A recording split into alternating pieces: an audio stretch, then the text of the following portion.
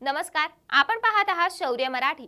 पारवा तालुक्यातील बोरी धरण शंभर टक्के भरल्यामुळे या धरणाचे बारा दरवाजे उघडण्यात आले. परिणामी अकरा हजार क्युसेक्स पाण्याचा विसर्ग बोरी नदीच्या पात्रात सोडण्यात आला. वाया जाणारे हे पाणी उजव्या कालव्याच्या माध्यमातून तालुक्याच्या कंकराज धरणात वळविण्यात आले असून कंकराज धरणाचे पुनर्भरण सुरू झाले आहे.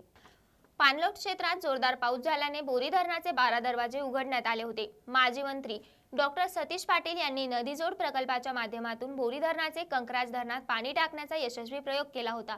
या पार्श्वभूमीवर आज बोरी धरण भरल्यानंतर आमदार चिमनराव पाटील माजी मंत्री डॉक्टर सतीश पाटील यांनी बोरीचे वाया जाणारे पाणी कंकराज धरणात सोडण्याची मागणी केली होती. दुसऱ्याच दिवशी जिल्हाधिकारी अभिजित राऊत यांनी ही मागणी मंजूर करून बोरी धरणाच्या उजव्या कालव्यांमधून कंकराज धरणाकडे पंचवीस क्युसेक्स पाण्याचा विसर्ग सुरू केला. हे पाणी देवगाव जोगलखेडे मेहू विजखेडे पुनगाव शेवगे मार्गे कंकराज धरणात जाईल. शासनाच्या या निर्णयामुळे परिसरातील नागरिकांमध्ये आनंदाचे वातावरण पसरले आहे.